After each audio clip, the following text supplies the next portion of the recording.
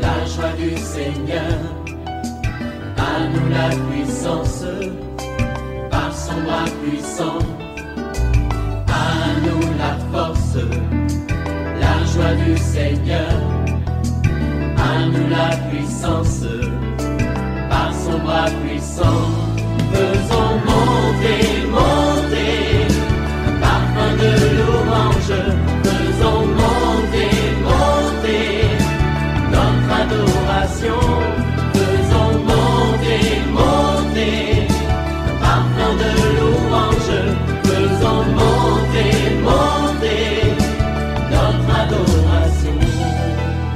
Cette semaine sera une semaine spéciale où nous voulons expérimenter le Dieu qui fait des miracles et qui nous étonne. Nous allons commencer notre jeûne à partir du mercredi 31 juillet et nous allons clôturer le jeûne par notre grande veillée le vendredi 2 août 2024 de 21h à l'aube. Vous qui êtes loin d'Abidjan, vous pouvez suivre en direct sur YouTube.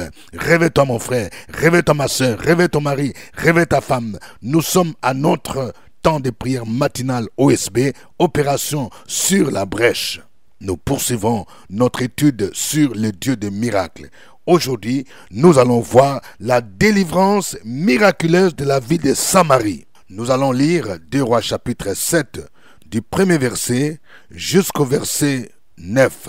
Et nous allons sauter, nous allons continuer de 16 à 25. Chaque matin je me lève, Je prie avec OSB,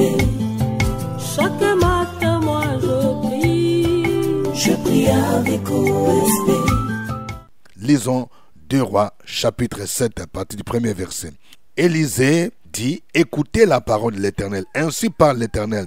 Demain, à 7 heures, on aura une mesure de fleurs de farine pour un cycle et deux mesures d'orge pour un cycle à la porte de Samarie. L'officier sous la main duquel s'appuyait le roi répondit à l'homme de Dieu. Quand l'Éternel ferait des fenêtres au ciel, pareille chose arriverait-elle? Et Élisée dit, tu les verras de tes yeux, mais tu n'en mangeras point. Il y avait à l'entrée de la porte quatre lépreux qui se dirent l'un à l'autre, Quoi? Resterons-nous ici jusqu'à ce que nous mourions? Si nous songeons à entrer dans la ville, la famine est dans la ville, et nous y mourrons. Et si nous restons ici, nous mourrons également. Allons nous jeter dans le camp des Syriens. Si nous laissent vivre, nous vivrons. Et si nous font mourir, nous mourrons. Ils partirent donc au crépuscule pour se rendre au camp des Syriens. Et lorsqu'ils furent arrivés à l'entrée du camp des Syriens, voici, il n'y avait personne. Le Seigneur avait fait entendre dans le camp des Syriens un bruit de chars et un bruit de chevaux, le bruit d'une grande armée, et ils s'étaient dit l'un à l'autre, voici les rois d'Israël a pris à sa solde contre nous les rois des Essiens, les rois des Égyptiens, pour venir nous attaquer. Et ils se levèrent et prirent la fuite au crépuscule, abandonnant leurs tentes, leurs chevaux, leurs ânes, le camp tel qu'il était, et ils s'enfuirent pour sauver leur vie. Les lépreux étaient arrivés à l'entrée du camp, pénétrèrent dans une tente, mangèrent et burent, et en emportèrent de l'argent, de l'or et des vêtements qu'ils allèrent cacher. Ils revinrent, pénétrèrent dans une autre tente, et en emportèrent des objets qu'ils allèrent cacher. Puis ils se dirent l'un l'autre, Nous n'agissons pas bien. Cette journée est une journée de bonnes nouvelles. Si nous gardons le silence et nous attendons jusqu'à la lumière du matin, le châtiment nous atteindra. Venez maintenant et allons informer la maison du roi. Nous sautons, nous continuons au verset 16. Le peuple sortit et pilla les camps des Syriens, et l'on eut une mesure de fleurs de farine pour un cycle et deux mesures d'orge pour un cycle, selon la parole de l'Éternel. Le roi avait remis la garde à la porte de l'officier sur la main duquel il s'appuyait, mais cet officier fut écrasé à la porte par le peuple et il mourut, selon la parole qu'avait prononcée l'homme de Dieu. Quand le roi était descendu vers lui, l'homme de Dieu avait dit alors au roi, on aura deux mesures d'orge pour un cycle et une mesure de fleurs de farine pour un cycle. Demain à 7 heures à la porte de Samarie. Et l'officier avait répondu à l'homme de Dieu, quand l'Éternel ferait des fenêtres au ciel, pareille chose arriverait-elle Et Élisée avait dit, tu les verras de tes yeux, mais tu n'en mangeras point. C'est en effet ce qui lui arriva. Il fut écrasé à la porte par le peuple et il mourut. Amen. Nous allons voir d'abord l'évidence du miracle et après nous allons voir les clés qui ont déclenché ou qui ont activé le miracle. De quoi s'agit-il? Il s'agit d'un miracle que l'Éternel a réalisé en délivrant la vie de Samarie et en faisant baisser de manière extraordinaire les prix des denrées alimentaires. Alors, quel était le contexte? La vie de Samarie était assiégée par l'armée des Syriens. Et vous savez, quand vous êtes assiégé par une armée, il n'y aura pas d'entrée, il n'y aura pas de sortie des marchandises. Sur le plan économique, l'économie va en pâtir. La demande sera très supérieure à l'offre et il va s'en suivre une flambée des denrées alimentaires, des prix. Et c'est ce qui s'est passé. Quand vous lisez le chapitre 6 au verset 25, on nous montre qu'il y avait une grande famine dans Samarie et il a serré tellement qu'une tête d'âne valait 80 cycles d'argent et le quart d'un câble de fientes de pigeons 5 cycles d'argent. Qu'est-ce que ça veut dire? L'âne était un animal impur qui était interdit par la loi de Moïse de manger. On ne pouvait pas consommer l'âme. Et la fiente des pigeons, c'est une expression qui servait à désigner une sorte d'épice. Alors, vous voyez, si les gens commençaient à consommer la tête d'âne qui était impure, ça veut dire que les gens avaient tellement faim qu'ils ne pouvaient rien faire d'autre. Et la tête d'âne était vendue à 80 cycles. C'est environ 240 euros si on convertit. Et aujourd'hui, en France CFA, ça peut être 150 000. Vous vous rendez compte? Et les câbles de la fiente des pigeons, 5 cycles, c'était environ 15 euros ou environ 10 000 francs CFA. Et il s'en est suivi même le cannibalisme. Si vous lisez les textes, que les gens commençaient à manger leurs enfants. Et à cause de cela, le roi de Samarie s'est irrité. Il a dit, mais pourquoi il y a de tels phénomènes? Pourquoi les prix coûtent très cher? Et Élisée, l'homme de Dieu, ne fait rien. Il voulait donc tuer Élisée. C'est alors qu'Élisée a proclamé une parole en disant, demain, vous allez voir, les prix vont baisser. Une mesure de farine, ça veut dire 12 kilos de farine, sera vendue à un cycle, à peu près 2000 francs CFA. Et deux mesures d'orge, ça veut dire 24 kilos, sera vendue à un cycle, c'est-à-dire environ 2000 francs.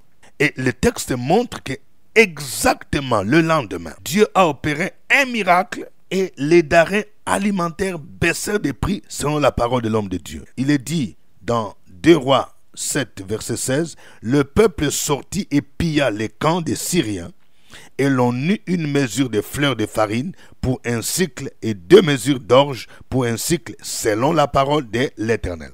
Alors, voici encore un autre miracle qui accompagna ce miracle. C'est le fait que Dieu a combattu de manière surnaturelle contre l'armée des Syriens. Il a fait entendre un bruit dans leur camp qui a fait que l'armée des Syriens croyait que l'armée d'Israël s'est alliée à d'autres armées pour venir les combattre et ils ont pris fuite. Il est dit au verset 6, le Seigneur avait fait entendre dans le camp des Syriens un bruit de chars et un bruit de chevaux, le bruit d'une grande armée, et ils s'étaient dit l'un à l'autre, voici le roi d'Israël a pris à sa solde contre nous les rois des Essiens, les rois des Égyptiens, pour venir nous attaquer. Et ils se levèrent et prirent la fuite au crépuscule, abandonnant leurs tentes, leurs chevaux, leurs ânes. Les camps tels qu'ils étaient, et ils s'enfuirent pour sauver leur vie. Je suis en train d'annoncer dans la vie de quelqu'un qui me suit que Dieu va faire entendre un bruit dans les camps de ceux qui te combattent. Il va faire entendre un bruit dans les camps de tes ennemis. Ils vont se disperser parce que Dieu lui-même va combattre en ta faveur. Je suis en train de parler à quelqu'un. Oui, aujourd'hui tu te plains parce que tu ne sais plus comment nourrir tes enfants. Le Seigneur est capable d'opérer un miracle. Voyons maintenant les éléments déclencheurs du miracle. Nous avons deux éléments. Le premier élément, c'est la parole de foi que l'homme de Dieu a prononcée. Bien-aimé dans le Seigneur, Lorsque nous marchons avec Jésus, il met en nous les paroles de foi. Lorsque tu es un homme de Dieu, tu dois apprendre à proclamer les paroles de foi. La Bible dit que nous sommes le sel de la terre, la lumière du monde. Nous sommes appelés à apporter des solutions. dans notre société d'aujourd'hui. Élisée a joué ce rôle de sel de la terre pendant que son pays était assiégé. Il y avait une grande famine. Il a proclamé une parole de foi. Il a dit au verset 1.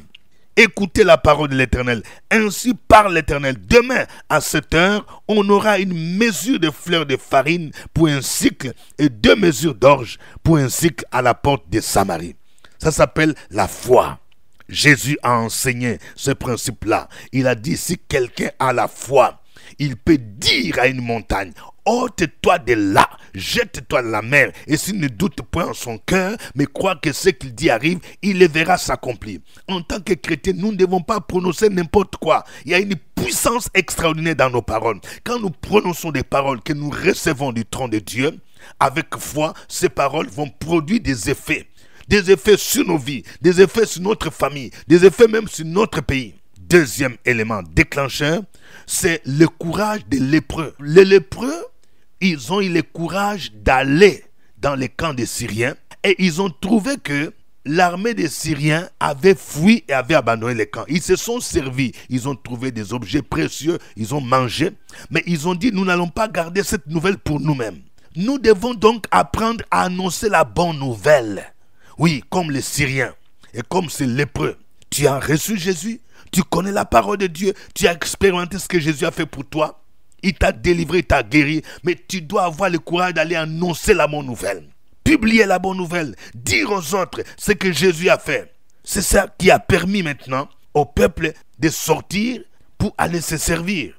Et ils ont constaté effectivement que les Syriens ont pris fuite. Je vais parler à quelqu'un. Chaque matin, tu pries avec OSB. Dieu t'a visité. Dieu a restauré ta vie de prière. Dieu a visité ta famille. Mais est-ce que tu annonces à d'autres personnes ce que Dieu fait par OSB Depuis que nous parlons des ambassadeurs OSB, toi, tu devrais être le premier, la première à commencer à envoyer OSB au moins à 10 à 20 personnes chaque jour.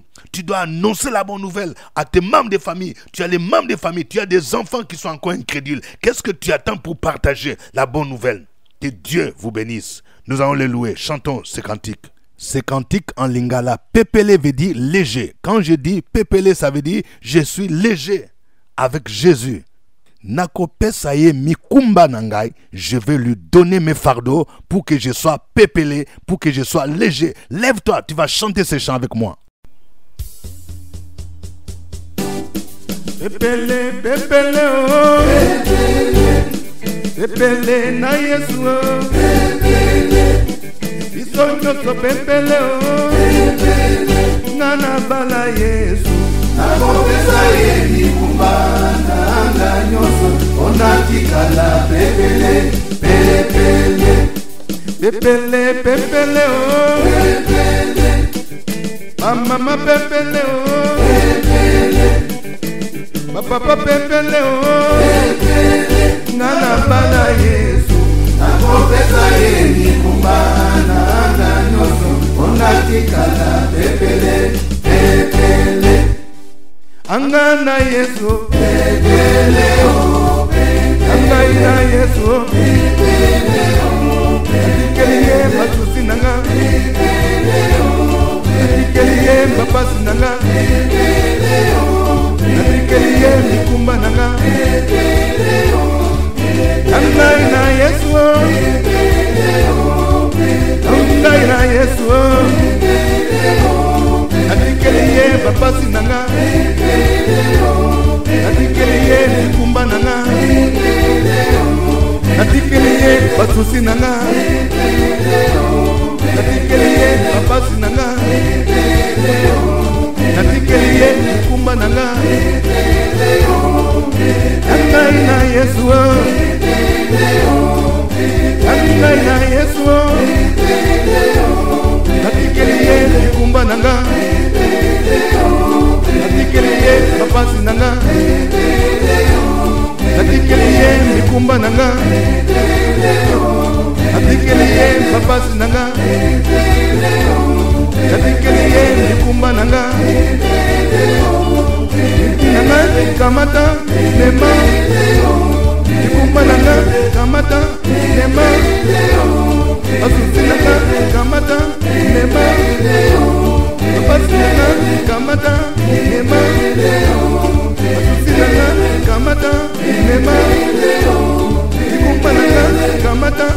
Nema Akosinanga Kamata Nema Akosinanga Kamata Nema Nanga na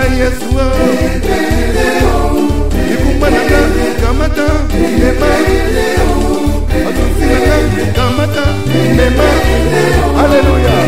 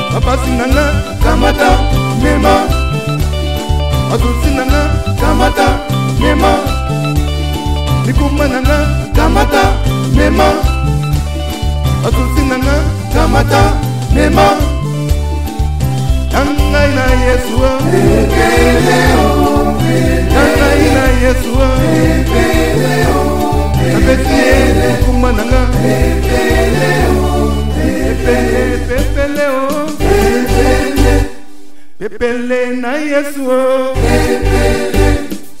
biso nyonso pepele o oh. nga nakola yesu nakopesa ye likumba na anga nyonso mpo natikala pepele pepele Gloire au Seigneur. Tu es un Dieu bon, le Dieu des prodiges, le Dieu des miracles. Tu n'as pas changé. Tu es le même hier, aujourd'hui, éternellement. Merci Seigneur pour tes bontés que tu nous renouvelles chaque jour, pour tes bontés que tu nous renouvelles chaque matin. À toi l'honneur et la gloire. Au nom de Jésus. Élevons nos voix. Continue à bénir le Seigneur.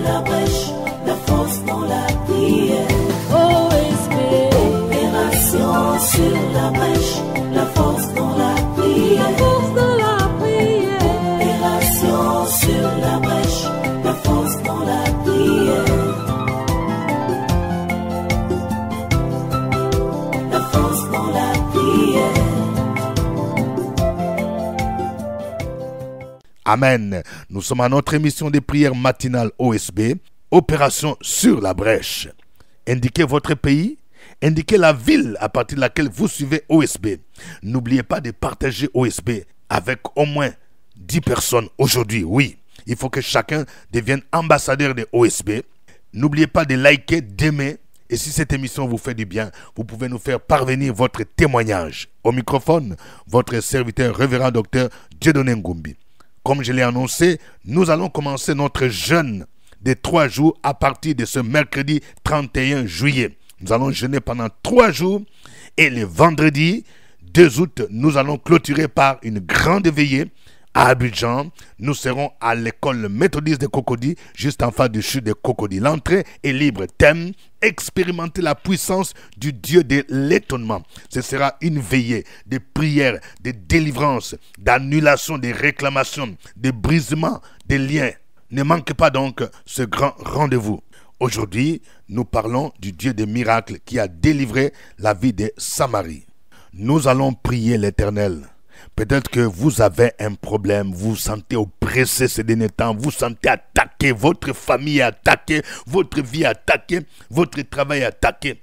Vous allez prier pour dire, Seigneur, combat pour moi. Fais entendre un bruit dans le camp de mes ennemis, afin qu'ils puissent prendre fuite. Il y a des choses qui se passent dans le spirituel et vous allez voir se matérialiser dans le monde physique. Peut-être que quelqu'un, tu n'arrives pas à dormir. Tu vas prier pour dire Seigneur, fais entendre un bruit, mets en déroute tous mes ennemis qui viennent m'assiéger. Au nom de Jésus, prions le Seigneur.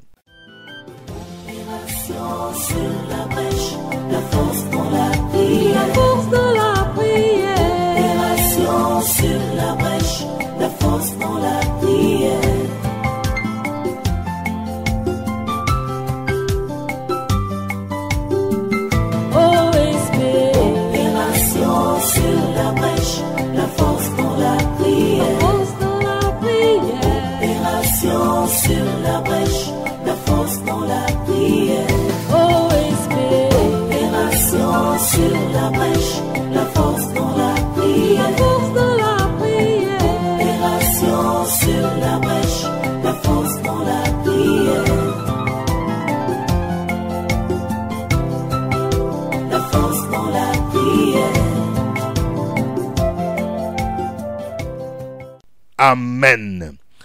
Nous allons prier par rapport à notre situation économique, le panier de la ménagère.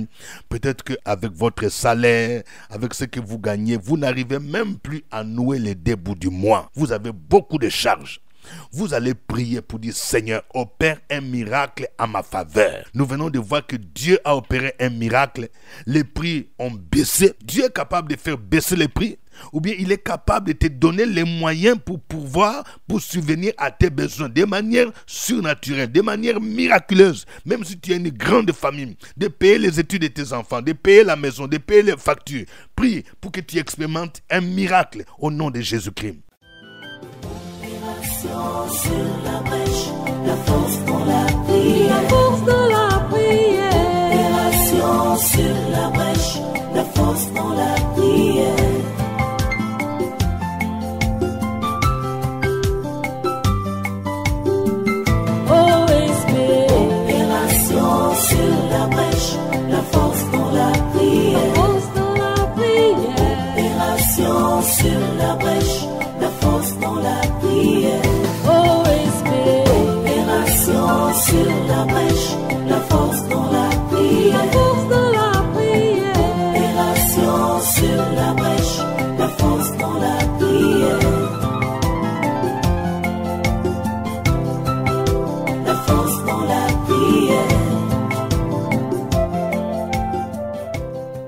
Amen. Nous allons prier pour que Dieu nous aide cette semaine à annoncer la bonne nouvelle à quelqu'un qui ne connaît pas Jésus, à annoncer la bonne nouvelle de ce que Dieu a fait pour vous. Peut-être d'annoncer à plusieurs personnes qui ne connaissent pas OSB ce que Dieu fait dans votre vie, comme les lépreux l'ont fait. Prions le Seigneur au nom de Jésus.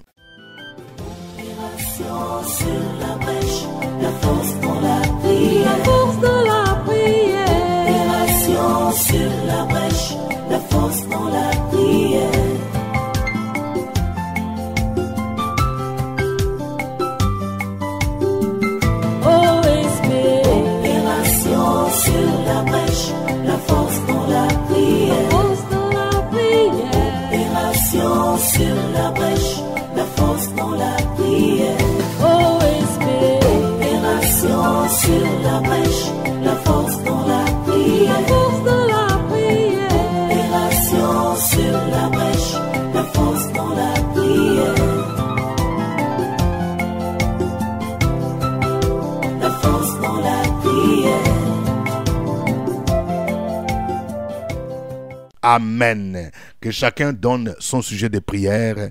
Oui, donne ton sujet de prière pour lequel tu veux voir un miracle. Dieu est capable d'opérer un miracle dans ta vie, un miracle dans ta famille, un miracle dans tes finances, un miracle dans ton travail, un miracle dans la situation de santé. Ces derniers temps, tu es malade.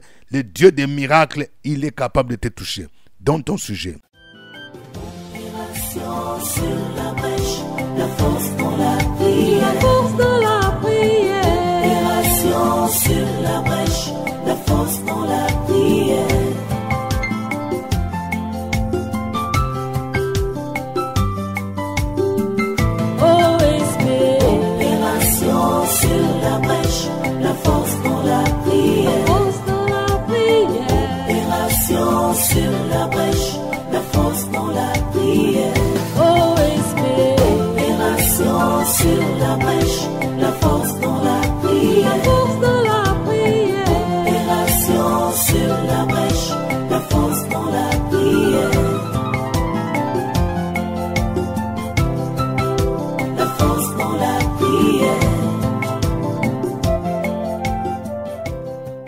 Alléluia. Dans le nom de Jésus, je prie pour quelqu'un. Ces derniers temps, tu es très inquiet parce que ta santé devient précaire. Ton médecin t'a demandé de faire plusieurs examens. Je déclare maintenant même, là où tu es, il y a la puissance de Dieu qui sort. Je déclare ta guérison au nom de Jésus. Que l'angoisse, la peur te quitte. Le diable veut te faire peur parce que tu t'es engagé à servir le Seigneur. Au nom de Jésus-Christ. Au nom de Jésus-Christ. Au nom de Jésus. La Bible dit, tu me serviras. J'éloignerai la maladie du milieu de toi tu sers le Seigneur, la maladie n'a pas de place dans ta vie. Ton corps est le temple du Saint-Esprit. Au nom de Jésus, je déclare la santé. Je prie pour quelqu'un, tu es oppressé, tu es opprimé ces derniers temps par les puissances diaboliques. Ils viennent souvent la nuit pour t'attaquer. Ils viennent sous forme d'animal féroce. Au nom de Jésus, je déclare que Jésus, le lion de la tribu de Judas, il se lève maintenant pour terrasser ces animaux qui viennent. Il les terrasse maintenant. Déclare là où tu es. Déclare maintenant qu'au nom du lion de la tribu de Judas, tu as la victoire maintenant. Au nom de Jésus, qui se disperse. Je prie pour quelqu'un là où tu es, dans ta chambre. Il y a peut-être des puissants des ténèbres qui envahissent ta vie, qui envahissent la chambre. La Bible déclare, les ténèbres ne régneront pas toujours sur la terre. Je déclare que la lumière de Jésus, lui maintenant dans ta chambre, chasse les ténèbres au nom de Jésus. Chasse les ténèbres de la mort au nom de Jésus. Toi qui fais des songes, tu te retrouves au cimetière. Je commande à l'esprit des morts de partir au nom de Jésus. Je commande à cet esprit de partir au nom de Jésus-Christ. Je déclare les déblocages au niveau de tes études. Toi, étudiant, toi, étudiante, tu as des problèmes au nom de Jésus. Je proclame les succès. Que le Seigneur transforme tes échecs en succès au nom de Jésus-Christ. Je déclare les déblocages de quelqu'un, oui, qui cherche à se marier et qui n'a pas de moyens au nom de Jésus. Que la provision surnaturelle vienne sur ta vie, en fait que tu réalises ton projet. À lui soit la gloire au nom de Jésus. Amen. Nous allons commencer notre jeûne à partir de mercredi. Préparez-vous, nous allons vous donner des références bibliques chaque jour pour jeûner et le vendredi, ne manquez pas ce grand rendez-vous, la grande veillée de prière la nuit sur la brèche à partir de 21h. Mais le jeudi, nous aurons une rencontre spéciale intercesseur sur la brèche au CPE parce que nous serons en plein jeûne. Ne manquez pas, nous devons être pendant les trois jours dans un esprit de jeûne et de prière. Grande veillée de prière la nuit sur la brèche avec le révérend docteur Dieudonné Ngumbi, le vendredi 2 août 2024 de 21h à l'aube, à la cantine de l'école méthodiste de Cocody. Thème, expérimenter la puissance du Dieu de l'étonnement. Orateur, révérend docteur Dieudonné Ngumbi. Cette veillée sera précédée par un jeûne de trois jours à partir du mercredi 31 juillet 2024. Au programme, délivrance, brisement de limitation, annulation de réclamation, proclamation prophétique. Toi qui te sens désespéré par rapport à ton avenir et celle de ta famille, viens à cette veillée pour entrer dans une nouvelle saison, où Jésus-Christ t'étonnera par ce qu'il fera dans ta vie. Entrée gratuite. Infoline 07 78 12 38 64. Un événement, la Maison de Gloire. Que Dieu vous bénisse. C'était OSB. Au revoir et à demain.